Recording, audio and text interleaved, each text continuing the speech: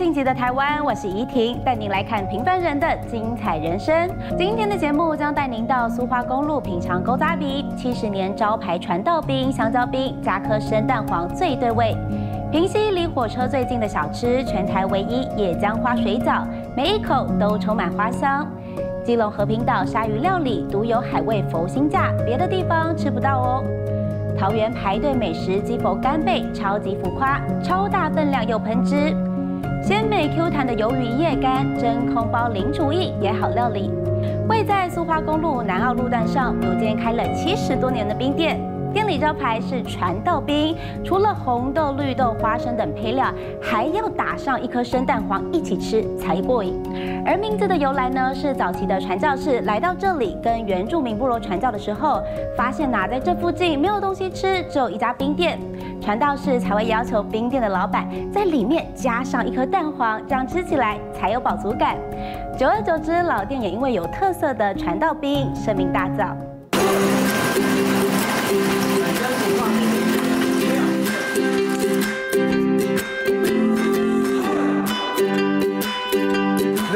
传道冰加蛋跟芒果牛奶。车水马龙的苏花公路上，每每到了南澳路段，就能看到这家开了超过七十年的冰店，总是会让不少的过路人和游客们停下来多驻足一会儿。这是我们回去花莲的必经之路啊，啊大部分我们经过都会来下来吃，从小吃到大，对啊，因为我们家都会经一定要停在这，习惯。好，请坐吃冰哦。哎，太阳很大，少吹冷气，多吃冰哦。啊，配合环保。带着麦克风讲话的人，这是老店的第二代老板林汉宗。店里音响放着怀旧音乐，让人仿佛置身于六零七零年代。是用路人的休息站，更承载了不少人的回忆。而大家为的都是这一碗外头吃不到的冰而来。你的传道兵来了，传道的加蛋的是谁？这个。三大球清冰当底，配上红豆、大红豆、绿豆跟花生四种配料，最后再来上一颗生蛋黄。你没看错哦，这样的吃法就是老店的镇店之宝。生蛋黄加在那个刨冰里面，我就觉得意外的好吃。我觉得它很特别啊，因为第一次看到上面有蛋黄，一开始会觉得哎是什么，有点怕怕的。可是搅散了之后，它融入了，哎真的还不错，味道真的很棒，而且它加那个碎花生。一绝，每年都来，每年都那么好吃。加生蛋黄的口感有什么不同？它多了一个甜味，在外面没吃过像这样子的加鸡蛋的，口感上面就有不滑顺的感觉。没想到生蛋黄搭配古早味的清冰，却一点儿都没有违和感，反而还帮清冰的口感加分不少。因为入口后会变得更绵密滑顺。不过到底为何会有传道冰这个名字？老店的第二代老板林汉宗就解释，这全都拜附近教会的传教士所赐，就怕客人不知道林汉宗对上门的顾客都要热情解释。所谓传道兵，那是以前我们就是原乡部落啊，传道士、牧师他来这边传教的时候，以前早以前到金马澳当时有一班，他早上九点十点到这里，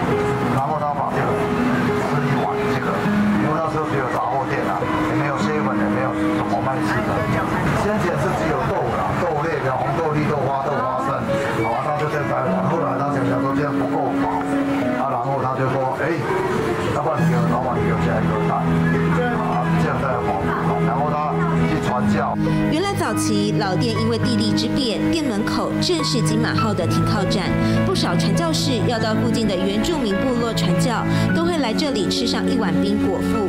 久而久之，特制的传道冰就声名大噪。清冰，然后香蕉味很重，对啊，然后比较绵，比较古早味一点。我这边有个亲戚，我小时候爸爸就会带我们来这里吃，每次必经的地点，到花莲、到台东必经的地点，都会在这边做暂停停留，然后一般都是夏天来，所以都会来这边解热一下。在家吃吃多久？应该有三十了吧。老主顾吃这么久的原因，都是因为店里的这个清冰使用阿公级的制冰机，每天现做现卖，这样吃起来才会透心凉。真的没有那么没有他们想象那么好。你像现在我这个做到也是职业病啊，还有时候你像夏天的话，天气很热，你就要做到半夜啊。我这个就做到因为太超，那，所以这个肌腱就突然就断掉，然后断掉他也没跟事先也没有准备，就这样，就断掉。原本在台北从事装潢工作的林汉宗，婚后回来南澳老家，跟着太太一起传承老丈人的手艺，坚持用古法制作。虽然保留古早味，但缺点就是费时又费工。尽管都做到职业病了，手臂上的肌腱断掉，还没有手术接回，但为了让上门的顾客都有冰吃，就算搬冰桶的手天天都会痛，他依旧秉持着职人的精神，坚守岗位。像你讲的说第一遍不用第二做一下，再怎么笨也要去当医生啊，啊结果都操刀都都不行啊，不会准备假香槟，哎呀总要吃饭吧，至少我们三个小孩都养大了。不只有传道冰，店里的三色冰淇淋也相当受欢迎，这就是大家口中常说的把布。粉红色的是火龙果口味，黄色是南瓜，紫色的是芋头。为了养生，第二代老板娘刘敏玲，她坚持把糖量减半，而且只用当令新鲜蔬果下去制作。像这个火火火龙果冰淇淋啊，它是以健康为概念来制作的，还不错，十年以上有了。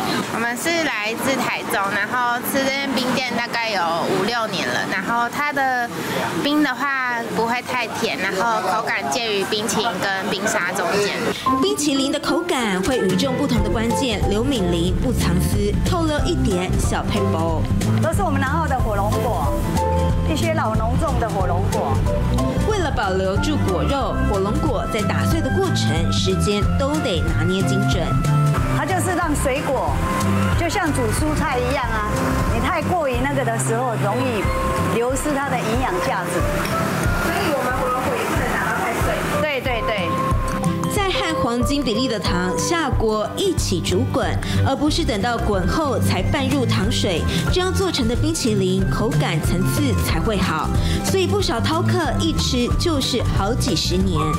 这是我们当地种的南瓜，我尽量以我们当地的食材下去做的冰。另外，这个南瓜冰淇淋当初也是为了不敢吃生蛋的顾客所研发出来的。这一道冰称为哈植物道冰里面呢。坚持店里的产品都是用原型食物去制作出来，这样的用心深受顾客的肯定。这个冰是有感情的，不但是冰而已。这家店是有很多的故事跟感情在，像今天就有好几个老客人都回来，哦，想很久了都没时间来呢，因为疫情四年了嘛。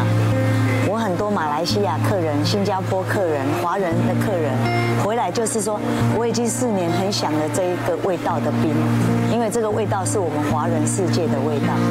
多年前更有对岸的客人吃过后想跟他拜师学艺，甚至开高价三百万人民币要求跟他他们购买制冰机和技术，但是夫妻俩听到后直接婉拒。我们就是觉得这是一种文化的传承啊，就说这种东西留下来啊，除了说啊赚赚一点家用啊，那至少会交好多朋友。他买了三百万，他一个月再给我三十万，去教他半年。可是我认为不行，把台湾拥有的文化留在台湾，东西渐渐已经没有了。你看，我都舍不得把我的机器换新，还是用我的老机器慢慢拖、慢慢拖的打冰，有时候打到很晚。对制冰机的感情很深，因为靠着这台机器，每天马不停蹄的运转，才能养活一家老小。其实这是一个小型制冰工厂，它可以制瓦布，可以制压边，可以制冰块、卫生冰块，还有就像我们家吃的青皮，应该算是。第五代，因为先前我业务人家顶下来我们家前面已经有两代人在做。这台从日据时期开始就有的机器，传承至今近百年，在台湾可以说是硕果仅存。盐卤，哦，就是一个冷冻池，就是啊，它那个阿莫尼亚在烤，那这个就等于说这个这个冷冻池里面至少要到零下十几二十度，你开一冷它速度就比较快，哎，啊，但是开一冷它这边比较快，但是它它这个打的冰的那个粘度会不一样，所以你要凭你的经验去掌控它的冷度。凭着经验去掌控冷度跟时间，才能造就出冰完美的口感。看准时下年轻人喜爱酸甜口味，店里的桑葚酱也都是自家手做，不买外面现成的。自己煮的，第一个不会太甜，第二个它绝对煮不出我这个味道出来。比较红的就是比较嫩，比较深的就比较成熟。使用两种不同熟程度的桑葚一起下锅煮，这样煮出来的桑葚酱品尝起来味道更香，口感层次会更加丰富。更努力的去研花冰，也会教我的儿子把这一块做的比我还要更好。开了超过一甲子的老店，现在也有了年轻一辈生力军加入。二十八岁的儿子林玉泉硕士毕业回家接班，不管内外场大小事务，都渐渐能独当一面。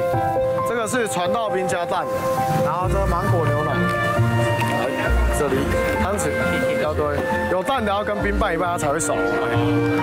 新一代接班也跟当初爸妈一样，全年无休，不只要守护好自家的老味道，更怕想来吃的客人们会扑空。我们家就是能开就都尽量开着，因为有些客人可能从大老远来，啊，他就想吃个一下这个冰，哎，回味一下这个味道。担心说他可能会不会觉得太辛苦，所以我每天都陪着他，就我们。做几个尽量教他啦，但是其实现在都已经他开始在操作，但是我爸说哎，他觉得太累，所以都陪着他。有着传承的使命感，要做就做到最好，因为这一碗传道冰在林家人的心里别具意义。像我待在这个地方，我觉得算蛮幸运的啦，应该刚好在苏花公路的终点站啊，所以好多客人也好啦。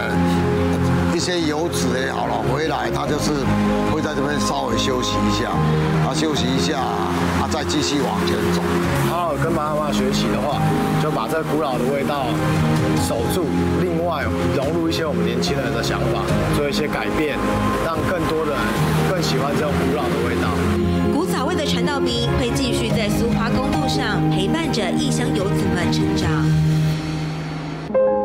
新北市平溪铁道上的菱角车站是一个名不见经传的小站，当地铁轨因为有着大弧度弯曲，有着微笑车站的称号。过去是运送煤矿而生的车站，如今随着产业没落，成了宁静的小村落。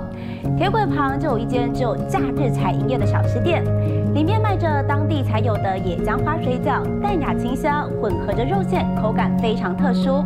手工的香酥猪脚跟醋溜大肠也是老板他自己研发的美味，以及现炒的铁板豆腐，在地的白斩土鸡，入口鲜嫩，带您一块去品尝。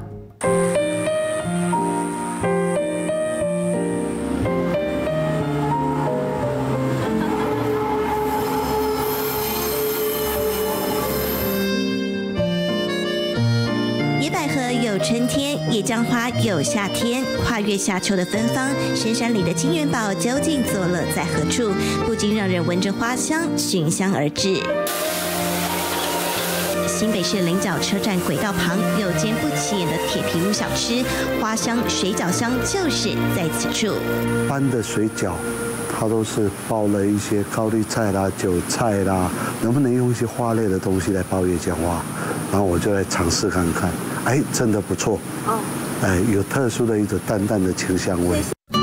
一颗颗白胖胖的水饺，以花入菜，鲜香宜人，咬下去汁水四溢，带有野姜花香，与肉味内馅碰撞出来的口感一流。食材也取自老板杨万生的自家后院。这是一种彩色的野姜花，我们采的时候，采到从它的茎部这个地方拉上来，这就是一朵。采这个野姜花，我们就是做水饺，哎，然后加上白色的。那我这边种的目前有差不多四种颜色，采下来以后就要马上穿烫，穿烫以后就启动，所以我一年四季不缺花。绞肉、高丽菜、野姜花、少许的红萝卜，我一直讲究所有的料理，你不要去添加任何什么什么佐料什么，最好是吃它的原味，吃出它本身的真，很重要。不用过多的调味，杨万生现包的水饺，薄薄的外皮透出粉嫩色泽的内馅，一颗颗像是元宝整齐摆放，下锅煮到晶莹剔透，捞起后就是客人吃进口中的在地宝藏。特别在外面买吃不到的，也像那水饺，那个花香的味道，很好吃。你看，我们一般都要吃完了。水饺好吃，为什么？哎，他自己包的，很好吃。水饺有创意，店内环境也特别。老板刻意在铁皮墙上开了一扇窗，让坐在里头用餐的客人可以一边吃饭一边欣赏火车进站的风情。蛮新奇的啊，对，就小朋友都会吃一吃，就我们就大家都会冲出去看火车这样，对，这很近，非常的近。对我第一次来也蛮惊艳的。平西铁道最经典的风景，天天在这里上演。坐着吃饭就能看见火车从眼前开过，呼啸而过的声响也呼应着如战场的厨房。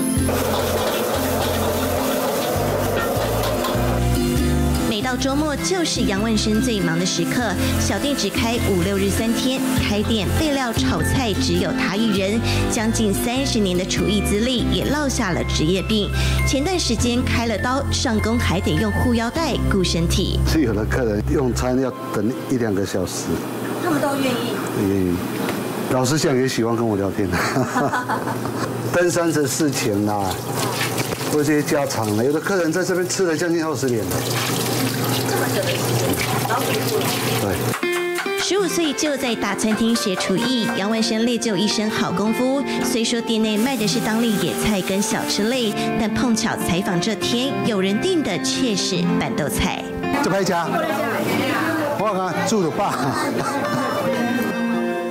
亲切招呼客人后，又要进厨房。他一个人当两个人用，但二十年前回来开店，曾被人家笑说根本不会有客人。国中的时候就出去了，然后出去学厨艺，学了一两年，在外面四处的工作嘛，也做过室内设计啊一些东西。然后想想那时候说，哎，妈妈生病了，我想说，啊，老人家陪我们可能也不久了。医生说可能也不久了，然后就跟太太商量回来照顾老人家，把外面的朋友带进来，带进这个小小的村落里面，让这个村落看能不能更繁荣一点，更有人气一点。然后我就这样慢慢的做，慢慢做，一直熬熬到现在二十年了。回到家乡做起小吃后，名气在登山圈逐渐传开，因为在这也能吃得到小吃类的功夫菜。德国猪脚真的很香，清洗过，然后穿烫，穿烫好了再炸，炸好了再卤，卤好了再去骨，去骨完了以后再捣碎，捣碎以后再把它整块一块一块的挤冻，需要的时候拿出来切一块小块的再炸。搬二十只的猪脚，我都要忙一整天的时间。我的出流大厂都是用本地的温体猪的大肠回来做的，然后煮好了以后，一般你在外面吃，绝对是用姜丝炒出来的。那我也是会有加姜丝，但是因为我都不用味精，所以我会用大量的洋葱。我想说这样会提出它洋葱的甜味。你就不需要再添加任何其他的一些佐料。就是这样的美味，也吸引外国人特地造访。发现菱角旁边有这个餐厅，对，要订这个地方。所以是礼拜几要订多少位？啊，最少三十位。这个地方有很很多很漂亮的溪，山溪，还有一些很好跑的山路，山步道。这里是许多登山客的后花园——老山城车站的宁静，把坐落在平西铁道上的菱角车站衬托得更不一般。菱角火车站这个地方，以前在开采煤矿的时候，是一个很这边有一个很大的一个煤的集散场，而且以前车站前面这里是双轨，而且住户也很多。这里也是我们平西区的第二大里。这个火车站的特色就是它的弯道，月台的弯道就将近一百八十度的弯道，所以我们的外号称作“微笑火车站”。说着昔日的风光，如今只剩淳朴的街道、幽静的环境。随着人口迁移，小村庄里几乎只见老人家闲适在屋前聊天。因为人大部分都搬出去了，人也少，啊，这个月台这个也没有。管理人员在这边，也没有车站务人员在这边，现在就变成一个无站务人员的车站。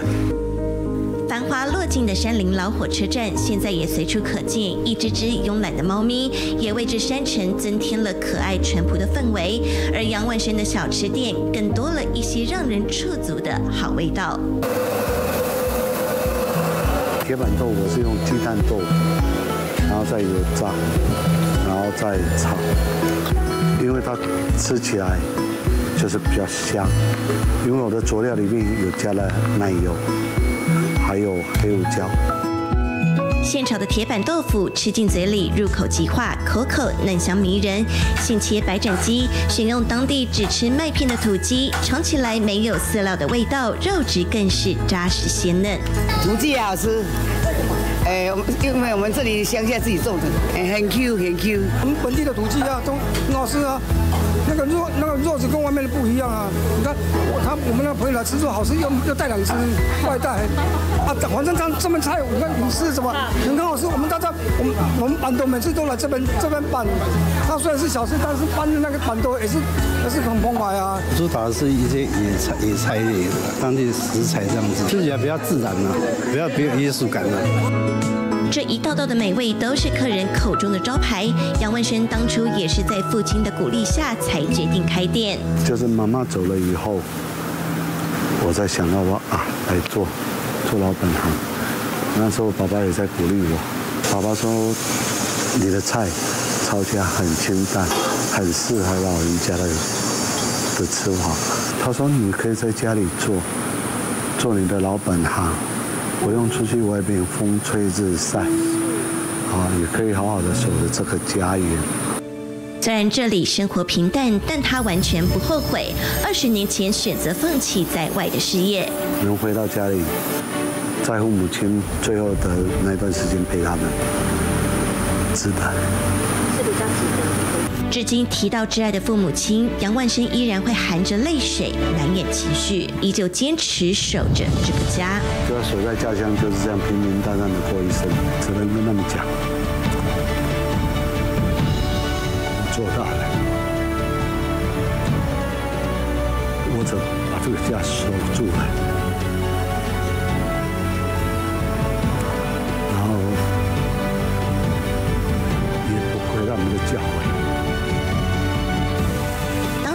转念，回乡做吃的，以为自己的后半辈子找到了最合适的去处。如今老车站依旧宁静，惬意的小吃也依然单纯美好。在金龙和平岛上，有位人称阿九婆的吴正清，从小在和平岛上长大，这一碗鲨鱼羹跟很多美味的鲨鱼料理，在岛上闯出了名号。他做生意的方法非常特别，除了价钱便宜，最喜欢跟客人介绍一些鲨鱼的相关知识。他的人生六十岁开始历经了离癌、开刀跟火烧房子，钱财对他来说不是重点，他只希望他的鲨鱼料理能为和平岛带来更多的观光人潮。凌晨三点，当大伙还在睡梦中时，基隆卡玛蒂的鱼市场早已人声鼎沸。人群中，这位留着小胡子的欧基桑，他就是基隆和平岛上绰号阿 Q 啊的吴正清。六十五岁的他以前跑过船，加上卖了二十多年鲨鱼料理，即便大鲨鱼被去头去尾，少了凶恶模样，他依旧一眼能够认出。大尾鲨。不敢管了，咱咱就有当用这款的，尾巴哦跟一般的鲨鱼不一样，一般的鲨鱼的尾巴哦是是直立式的，它的尾巴是横式的。好了好了，哎，两对，提两对把过你啦，看对吧？等下要个两对全包你啦，同款的。基隆和平岛位在台湾最北方，靠着和平桥与本岛做连接。岛上有着壮丽的海蚀地形景观，近来附近的正滨渔港彩虹屋很吸睛。但在和平岛上也有一间彩虹屋，它就是阿 Q 贝吴正清的店。里头小小一间厨房，夫妻俩忙着客人内用跟外带。来第五桌小给，你们的意大利面，这是大的，大的，哎，大的，一间小店热热闹闹，客人都指明要吃这碗只有铜板价格的鲨鱼羹，里头的炸鲨鱼肉给的很阿萨里，有六七块，而且都切的很大块。咱们家招牌这个鲨鱼羹，煎的个可能袂较袂甘油啊，因为这个物件是咱家人出产的，啊你敢若讲要外口食，就比较较少啊。骨头它它的胶原蛋白，你看它的骨髓啊非常好，它是沿着一转一转一转一转一转。为了做出招牌鲨鱼羹，阿 Q 贝每天凌晨五点才买完鱼货，没做休息，趁着新鲜赶紧处理。由于卡马丁卖的鲨鱼每天的种类都不一样，处理的细节也会有所不同。处理好的鲨鱼肉得用独门的配方来腌制，然后用手劲让味道渗入鱼肉当中。他们的烤猪啊，他们还有刺，鲨鱼它没有刺。我说在这在这个地方它是比较好的，小朋友啦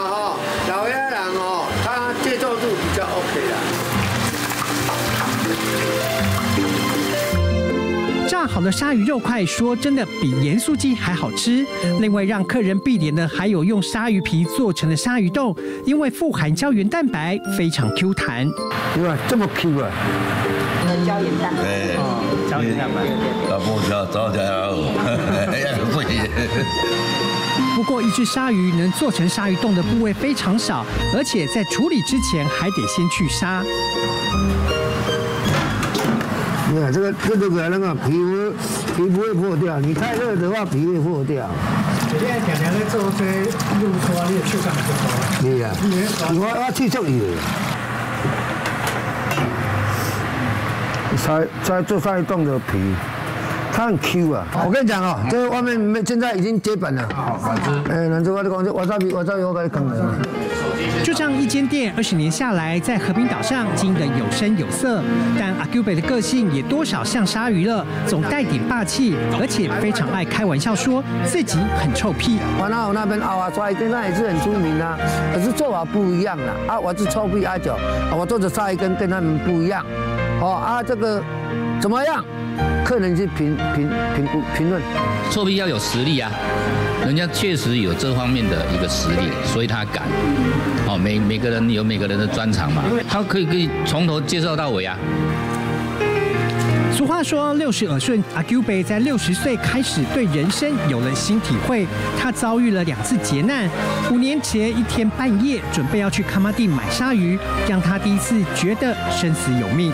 咖喱米饭啦，我煮给他吃啊，啊他就突然就吐血啊，他就马上送医院去检查，就就发现了。食道胃癌，我我第四期的啊，我可能是比较壮，上天留一条路给我，不到一个礼拜我回来要，我还是水饺这样做，还是鲨鱼这样做，你你一定不相信的。我在做化疗，我还是在开店，真的我是这种人，为什么不得不做？有时候我们做生意人这样，有时候好朋友要来吃，你不得不做。我把客人当成是朋友。生过一场大病，让原本壮硕的阿 Q 贝小了一号。从昔日这两张照片可以明显比较出，不过这照片却是仅存的回忆，因为二零一九年九月，一场大火烧光了他二十年奋斗的光阴。消防队员见状后赶紧布水线，使用强力水柱灌救，在十五分钟后顺利将火势扑灭。他电话甲我讲，我较紧啊，我我看一电话，阿姊啊，我走来这，我看下中午的我阿姊啊，小军拢去啊，小刚哈，小到连一张地都无我在那个电视台我也是这样讲过啊，人无安怎，小气不要紧，人无安怎都有钱个赚喽。看到大火，其实他最担心的是自己的看秋陈美珠。他产品他们厉害的，他第二名第一名，他嫁给我这个国民大姐，他说我我有路财，我无人财，我无钱财，可是我有路财。我娘出是下花的，哎，你下花，哎，我无法度去搞下花，你哪行懂？就是原本阿 Q So 劝他要退休，但吴正清不愿意被人看扁，所以重新在和平岛上租了间店面。延造到别人家里去了，他要赔偿，没那这赔偿钱还是小事，压力很大。讲个良心话，真想放弃。话又讲回来哦，人生在世的话，你总是要有勇气面对着这个现实啊。对，除了我的人很多，帮助我的人还是有。另外，阿 Q 被退而不休的原因，是因为很爱和平岛这块土地，从小出生在此。因为家里人口众多，经济状况不好，阿公为了让他好养，才会帮他取名阿 Q 啊。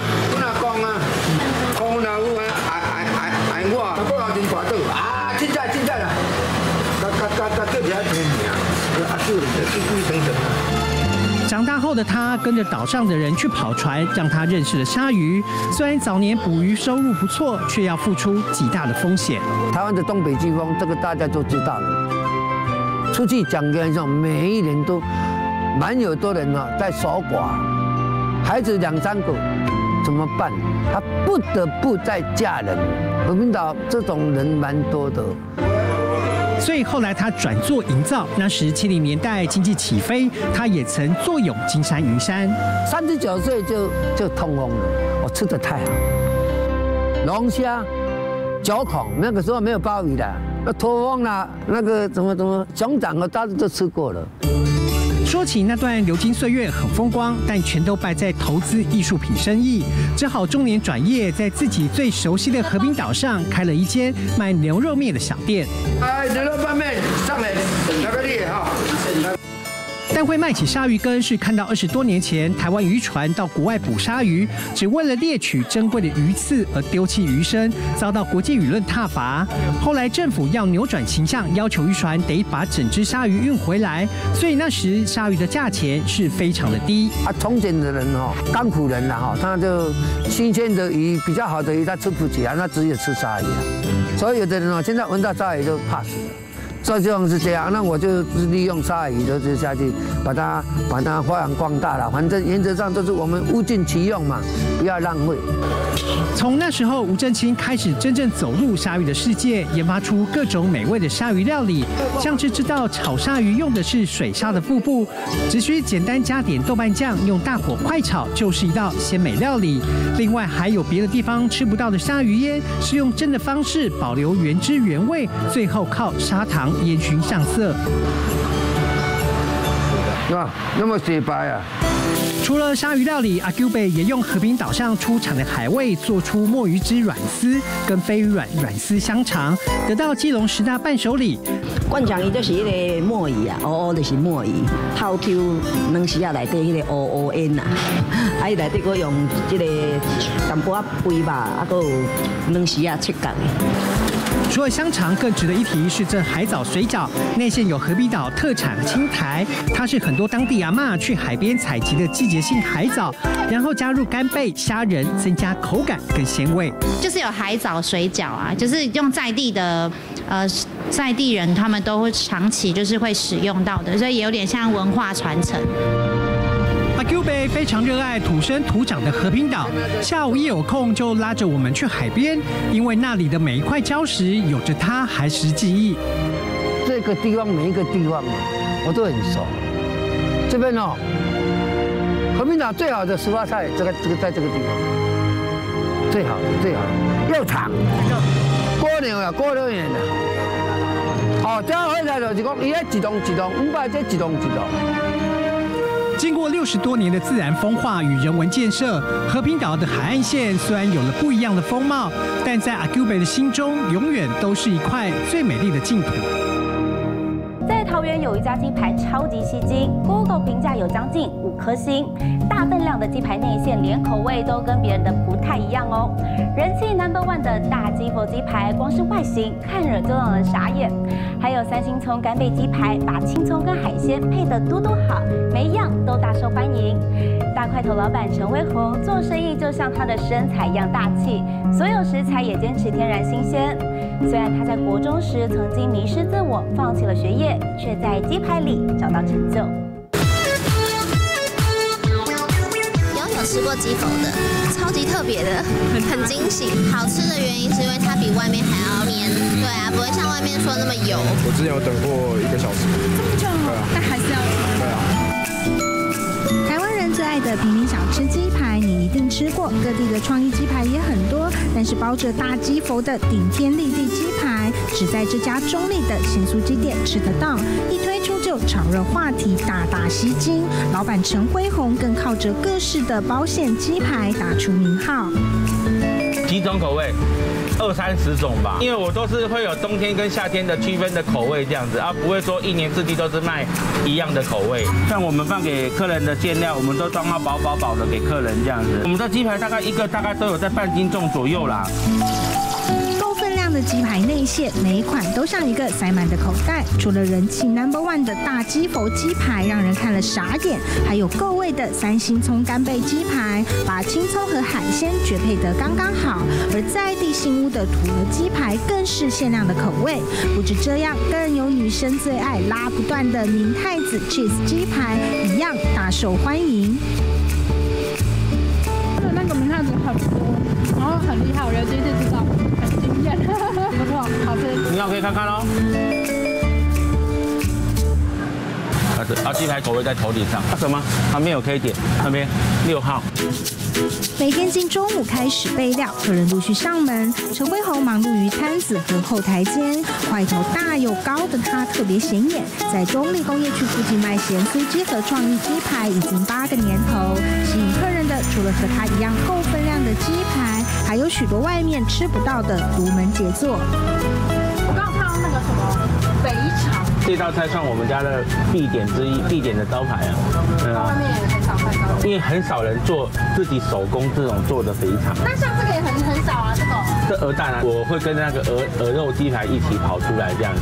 哦，所以它是一整个下去炸料。对，鸡排是我们家的强项，我就觉得说，我还是喜欢你点三个我就炸三个这样子出来这样子。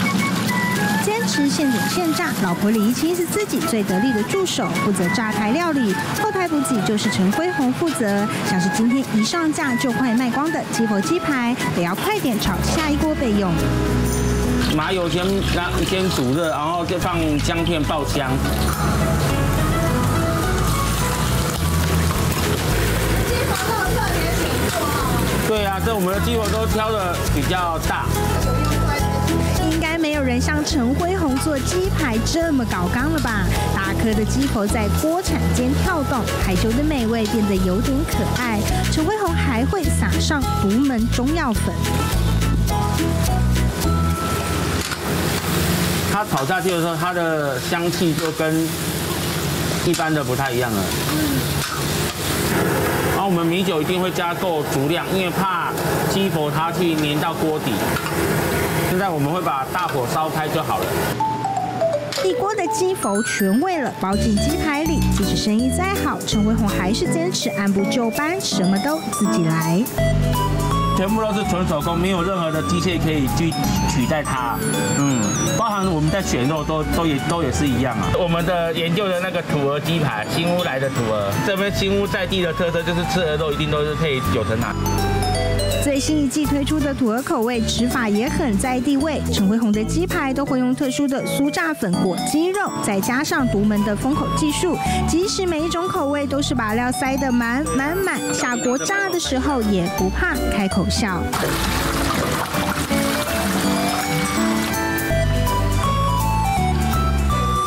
包馅的鸡排一定不能。切，而是要一口咬下才过瘾。其他热门食材也丝毫不逊色，手工肥肠炸过后是又酥又香，糯米肠比例软嫩，又吃得到炸过的焦香，还有一些外面吃不到的，像是芝麻大汤圆、土鹅蛋、泰式鸡蛋豆腐。陈辉宏的咸酥鸡摊完全颠覆了传统印象。那里面有加葱，其实会让它把里面的比较肥的那个油脂逼出来，就不会吃起来觉得很腻。其实每天面对的食材都一样，可是有时候你在炸的过程，你就会希望说，我我可以对这个食材做什么变化？对，有期待感。对，然后你有希望说，哎，我今天我可以做的东西是。当你想吃咸酥鸡的时候，你第一个尝到是我们家。第一次来的客人常常都会觉得说，啊，我东西不咸，买个一两次以后，它就会发觉，这样你比较能吃到食材本身的味道。鲜美 Q 弹的鱿鱼叶干，无论是用炸的、炒的，或是气炸锅料理都可以。这些鱿鱼来自南美洲海域远洋捕捞，活体新鲜传豆，经过清理以及专利的盐渍技术，确保每一片鱿鱼都入味。真空包装超级方便，简简单单就可以料理，是零厨艺婆妈们的最爱。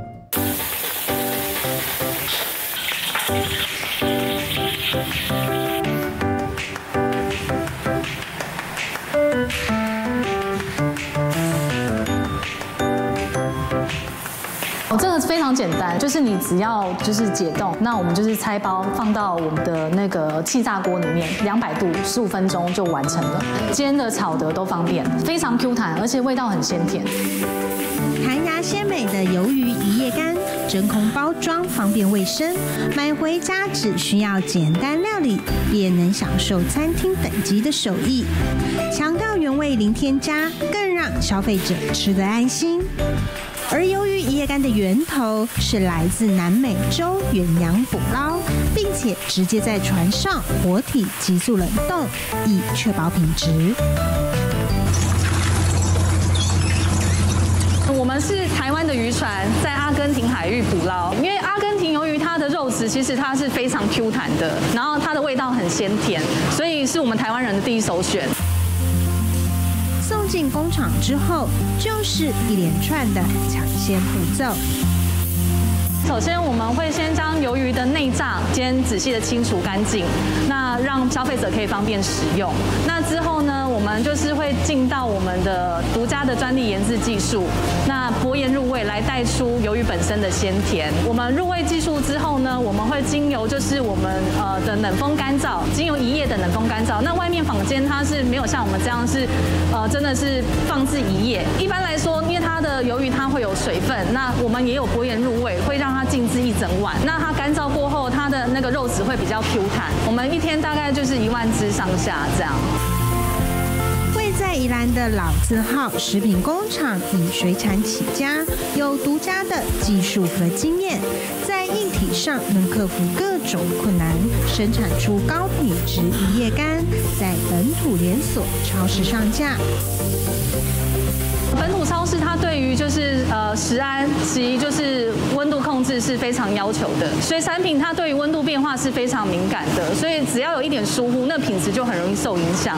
所以我们针对就是环境的跟水产品的温度控制，那我们尽量是将就是鱼体控制在十五度内。哦，这个就是我们由于经由一夜冷风干燥之后，我们会进到我们的生产包装间。那我们会先将鱿鱼就是一片一片的摆在就是纸板上，然后再进到我们的连续式真空包装机。我们从原料捕捞起来到制作完成的时候，它的重量一定都有足重到两百克。我们在本土连锁超市是以片作为这样一包的，一片就是一包。哦，我们这支产品大概已经快一年了，对，是。市场反应都不错。对，非常好。刚刚出来的时候根本就来不及生产，是销售一空的。品质好，吃起来美味又平价。由于一叶干在本土连锁超市上架之后，即造成旋风，能获得消费者青睐，全靠每一个环节的注重和坚持。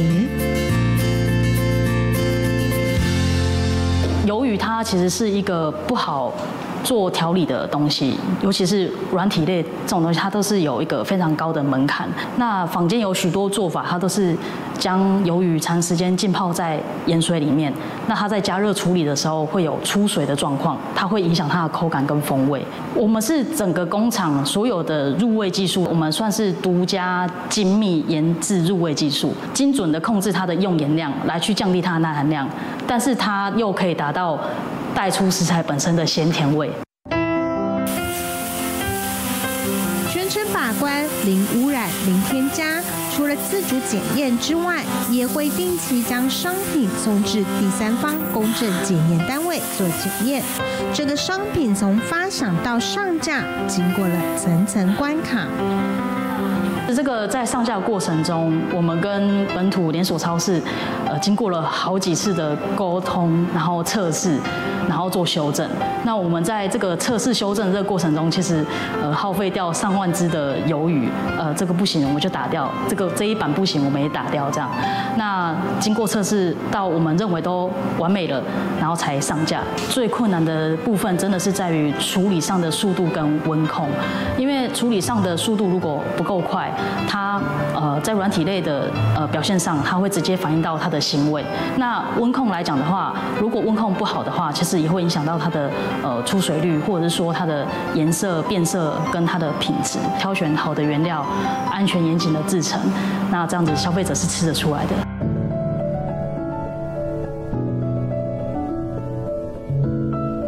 除了鱿鱼一夜干备受好评，另一项商品熏鲑鱼销售也是一路长虹。小巧便利真空包装，对小家庭来说超方便。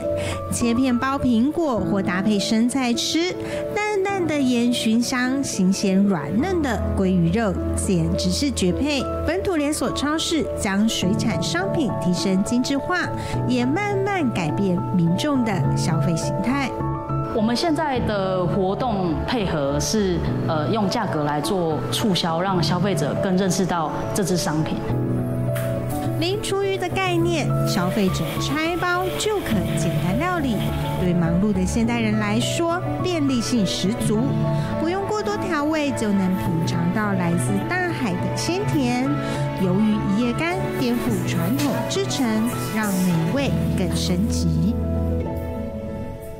在今天的节目当中，我们看到了七十年的勾扎比传统技术制冰，招牌传豆冰加生蛋，绵密清爽不甜腻。老板也靠着这碗冰养活一家老小，杨万生用自己的后半余生守着家乡，也创造出了独特的在地美味。这些都是平凡人最不平凡的精彩人生。感谢您今天的收看，也欢迎全球观众一起上晋级的台湾 YouTube 按下订阅跟分享。我是怡婷，我们下次再会。